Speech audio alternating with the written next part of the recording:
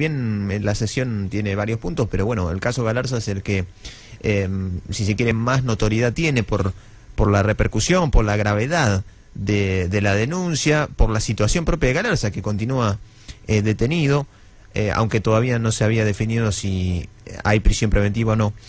Eh, ustedes habían presentado un proyecto para que se cree una comisión investigadora, para que se constituya una comisión investigadora. Sí, efectivamente, Julio. En nuestro caso, lo que hicimos fue de acuerdo a lo que prevé la ley orgánica de las municipalidades, eh, es eh, para iniciar el proceso de suspensión transitoria, tanto del intendente como de un concejal, eh, como el caso que nos ocupa, eh, hay que habilitar ese procedimiento que consta de una comisión investigadora. quiero remarcar este punto, no es que la comisión investigadora, en caso de que hubiera sido aprobada ayer, iba a iniciar una investigación paralela al de la justicia ordinaria que viene llevando a cabo en el fuero penal. Simplemente era a los fines formales de recepcionar el informe del fiscal Calderón y evaluar, dado la gravedad de los hechos, eh, el, eventual este, perjuicio que tiene la totalidad del Consejo Deliberante en función de eh, digamos, la, acusación tan grave que pesa sobre uno de sus 14 miembros. Eh, esto lo explicamos mm, de manera este, detallada, incluso hicimos alusión a que hay una situación fáctica que al estar detenido el concejal Galarza naturalmente no puede concurrir a su lugar de trabajo y eso ya de por sí este, está tipificado en uno de los artículos de la ley orgánica eh, como la incapacidad física o, mental sobreviniente. En este caso había una situación física, de hecho, que le impide naturalmente concurrir. Está bien. ¿Y cuál es la, digamos, el argumento para no acompañar esta iniciativa? ¿Es el mismo que vienen sosteniendo desde la presidencia o desde el Frente para la Victoria? Esto de que todavía no está firme su prisión preventiva. Sí, efectivamente. Tanto el caso de Unidad Ciudadana, el bloque al, que pertenece el concejal, como en el caso de Propin, eh, ellos sostuvieron eh, razones de este, legítima defensa en juicio, cosa que este, nosotros entendemos que la defensa corre por otro por otro carril, que en este caso es en sede penal, que esto es simplemente eh, tomar una decisión que tiene que ver no solo con lo legal, sino también con el sentido común. Eh, no puede estar formando parte, aunque sea transitoriamente, por el momento del cuerpo, un concejal que está preso. Eh, avalados en, ese argumento, que nosotros entendemos que, es este, de alguna manera dilatorio y este, claramente direccionado a este, quitar el eje del debate, eh, bueno, lamentablemente ninguno de los otros dos bloques acompañaron y para una resolución de estas, tanto para una suspensión como para una eventual futura destitución, hacen falta eh, dos tercios del total de los concejales, de manera que eh, desde nuestro interbloque de Cambiemos teníamos claro que si no acompañaban eh, no podía prosperar el, el proyecto, pero bueno, también teníamos claro que era eh, esa la, la, conducta que los vecinos nos están demandando, eh, sobre todo por, por los tantísimos casos este, de gravedad en cuanto a corrupción que ha habido en el ámbito nacional y provincial, y la gente tiende a descreer de los dirigentes políticos y de alguna manera esta actitud aparece como protegiendo o encubriendo indirectamente una situación personal de uno de los 14 concejales que es de extrema gravedad. Augusto, eh, ¿en cuánto influye que no haya sesiones, eh, que no esté el periodo de sesiones ordinarias? Porque fuera de ese periodo ustedes no están obligados a ir al Consejo Deliberante, ¿verdad? No, es cierto que es eh, formalmente, eh, digamos, los concejales tenemos obligación de concurrir a las sesiones tanto en periodo ordinario como las extraordinarias que se convoquen. De hecho, en esta en, el lapso de una semana desde el jueves pasado eh, siguiendo por la reunión de ayer lunes otra que vamos a tener hoy martes y otra el jueves va a haber cuatro sesiones extraordinarias en las que naturalmente el concejal Galarza no va a poder estar presente por, por la situación de estar privado de su libertad. Entonces, eh, nos parece que ese argumento no era sostenible. eh, bueno, eh, como decía, nosotros el tema del sueldo, con la conciencia tranquila. El tema del sueldo, porque también lo sigue percibiendo, ¿no? Sí, claro, el hecho de que continúe en funciones, este, que para nosotros es una aberración administrativa, eh, bueno, implica además que, este, que perciba su, sueldo normalmente como cualquier otro concejal que, esté trabajando. Porque él, no, él lo que solicitó es la licencia, pero a partir del 3 de abril. Exacto, nosotros le habíamos pedido al responsable del bloque Unidad Ciudadana, a Estanga, eh, un gesto eh, en el sentido que pidiera una licencia, pero naturalmente desde el día en que fue detenido por orden judicial, que fue el 27 de febrero, y resulta que Estanga apareció con una licencia fechada a partir del 3 de abril, con lo cual sonaba más este, a una tomada de pelo que a una medida seria. Por eso es que impulsamos eh, la suspensión transitoria, pero bueno, como decía, eh, no nos dieron los votos para hacer lugar a, esa situación. Bien. Eh, Augusto, eh, ¿coincidís con, eh, con la borragia que tuvo Rafael De Vito hacia la Presidente? bueno, cada uno tiene su estilo. yo tal vez lo hubiera planteado de diferente forma, pero es cierto que eh, la presidencia del cuerpo, independientemente de la persona eh, de Gabriela Ferretti, cualquiera hubiera sido el concejal que accede a la presidencia del cuerpo en esas condiciones, digamos, no perteneciendo a la fuerza política ganadora de las últimas elecciones, eh, teniendo que hacer un pacto político entre las segunda y tercera minoría del Consejo Liberante, naturalmente iba a ser una presidencia débil porque no iba a representar a la totalidad del cuerpo, que es lo que ocurre en, los ámbitos nacional y provincial.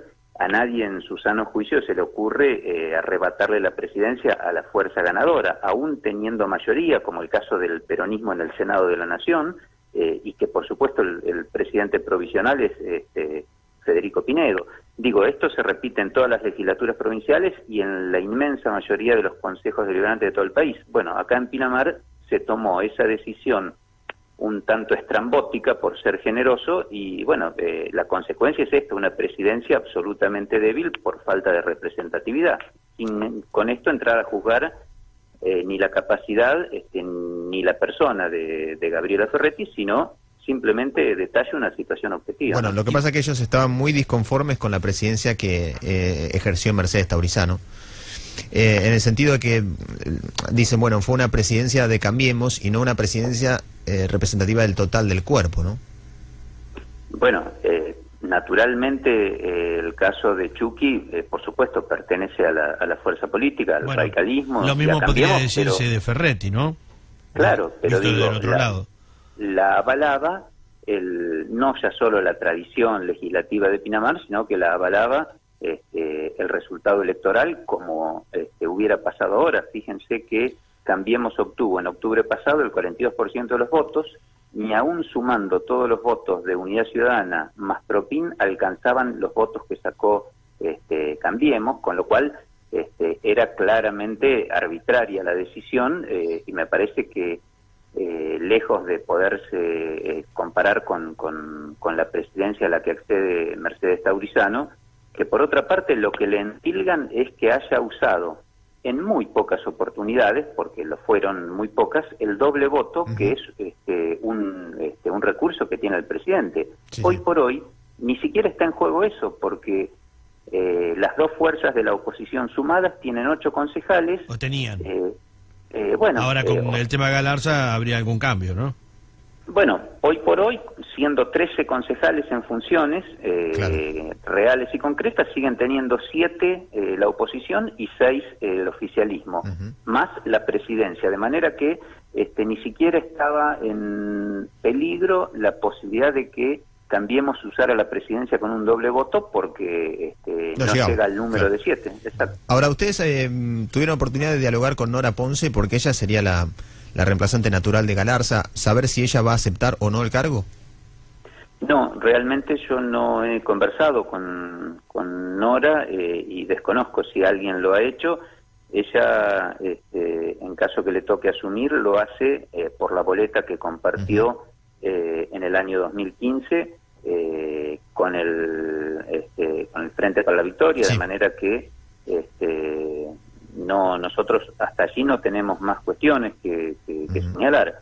Eh, lo que sí este, es claro y notorio es que eh, aún proviniendo de, de, esa fuerza política, otros concejales que, que, han pasado por el Consejo, caso Juan Ocampo o Juanjo dos Santos, han tenido una actitud de mucho mayor diálogo para intentar arribar a posiciones de consenso en beneficio de la comunidad, que no es el caso de este, quienes hoy representan este, tanto a Propin como a Unidad Ciudadana, ¿no?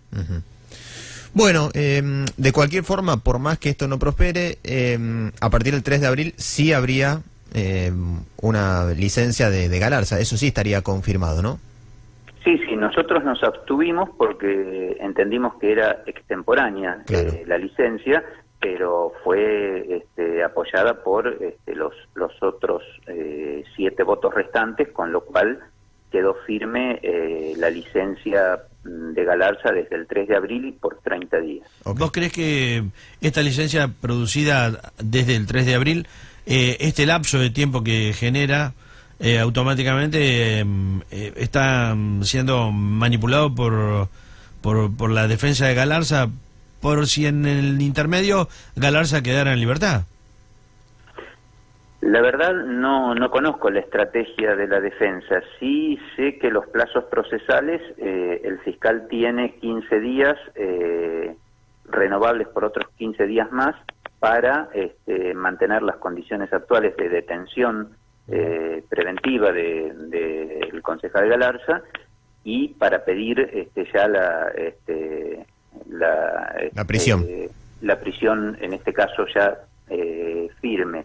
Tiene después el juez de garantía cinco días, pero también eh, para eh, aprobarla o rechazarla, pero aunque aprobara el juez eh, la continuidad de la detención, eh, como ya con la figura de, pre- de prisión preventiva, de todas maneras la defensa de cualquier eh, Sí, este, sí. imputado, en este caso de, de. Galarza, tiene la posibilidad de apelar Claro. en Cámara, después en casación, Sí, sí, sí. eh, te diría que hasta puede llegar a la Suprema Corte de Justicia de la provincia. Claro, Entonces, pero los tiempos... lo- claro, lo que dice la ley, que para que suspenderlo tiene que ser prisión preventiva firme, es realmente una entelequia.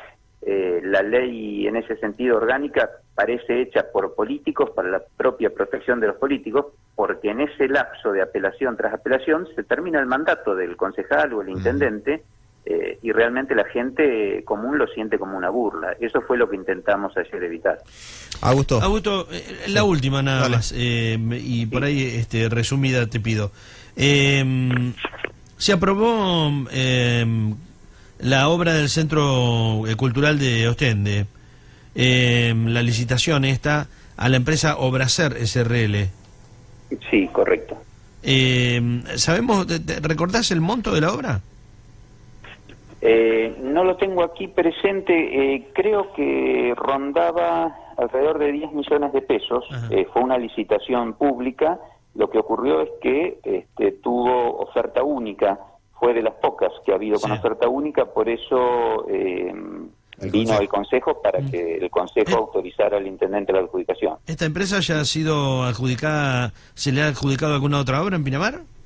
Entiendo que no, Raúl. Ah. Tendría que tendría que chequearlo, pero entiendo que no. Eh, es una empresa que no es de la zona y creo que sería la primera obra que, que se le adjudicaría. Mm. Eh, fue aprobado por unanimidad, en este caso, de la totalidad de los concejales. Bueno, porque hay una nota en, en un diario de Río Negro que la vincula y mm, no habla muy bien, digamos, de, de la finalización de algunos contratos con el Estado.